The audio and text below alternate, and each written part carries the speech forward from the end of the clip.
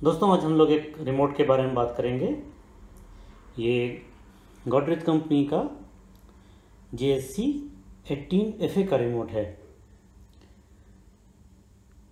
ये यहाँ पे हमारा इसमें ऑन ऑफ़ का फ़ंक्शन दिया है। हम मोड से चेंज कर सकते हैं। अभी ये ऑटो मोड पे लगा है। ऑटो मोड पे हम चाहें फ़ैन की स्पीड चेंज करना तो हम फ़ैन की स्पीड नहीं चेंज कर सकते हैं।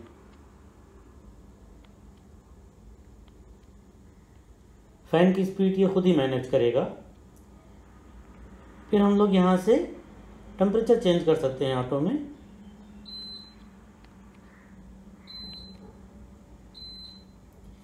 इसके बाद मोड से हम लोग कूल मोड पे आ जाएँगे। कूल मोड में हम लोग फ़ैन की स्पीड चेंज कर सकते हैं। ये फ़ैन की स्पीड का पॉइंट है। हाई ऑटो लो मीडियम तो फ़ैन की स्पीड चेंज कर सकते हैं यहाँ से और ड्राई मोड लगा सकते हैं। Dry mode specially rainy season के लिए है, जब भी ह्यूमिडिटी 80-85 परसेंट से ज़्यादा होती है। ड्राई मोड में हम टेम्परेचर का चेंज करना चाहें तो चेंज कर सकते हैं। लेकिन फ़ैन की स्पीड हमारी चेंज नहीं होगी। इसी तरह से यहाँ पे एक स्लीप मोड दिया हुआ है।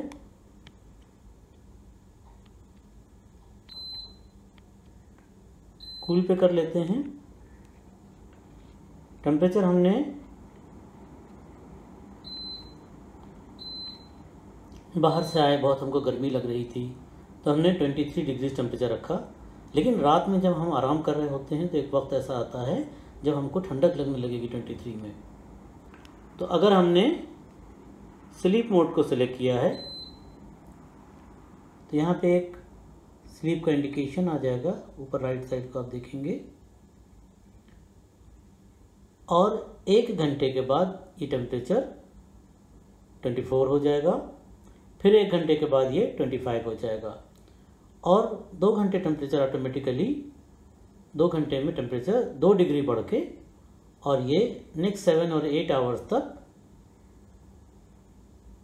बढ़े हुए टेम्परेचर पे चलता रहेगा, और फिर नॉर्मल अपने 23 पे आ जाएगा ऑलमोस्ट एट आवर्स के बाद। तो ये हमारा स्लीप मोड है। इसी तरह से टाइमर को हम यहाँ से ऑफ़ कंडीशन में ऑन टाइमर लगा सकते हैं और ऑन कंडीशन में ऑफ़ टाइमर लगा सकते हैं। तो अभी तो ये ऑन है। हम यहाँ से टाइमर को टच करेंगे। आधे घंटे का, एक घंटे का, डेढ़ घंटे का, ये टाइमर हम इसमें फिक्स कर सकते हैं।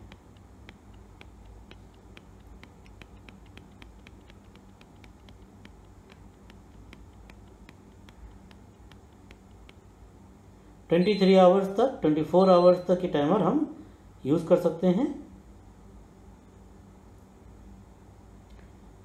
जैसे जैसे टाइम गुजरता जाएगा, ये माइनस होता जाएगा। और जो हमने टाइम सेट किया है, उसके बाद हमारा एयर कंडीशनर ऑफ़ हो जाएगा। इसी तरह से ऑफ़ कंडीशन में हम ऑन टाइमर का यूज़ कर सकते हैं। ऑफ़ कंडीशन में हम ऑन टाइमर का यूज़ कर सकते हैं।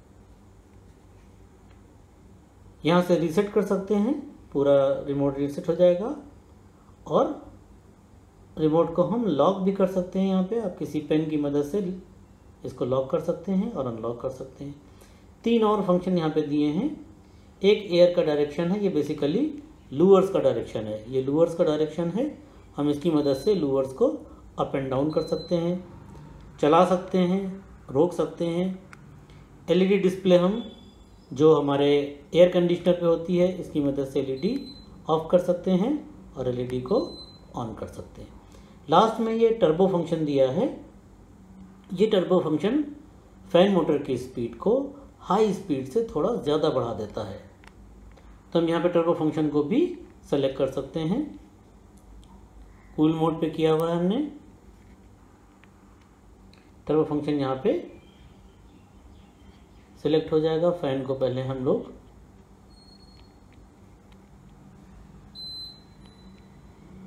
मीडियम पे कर लें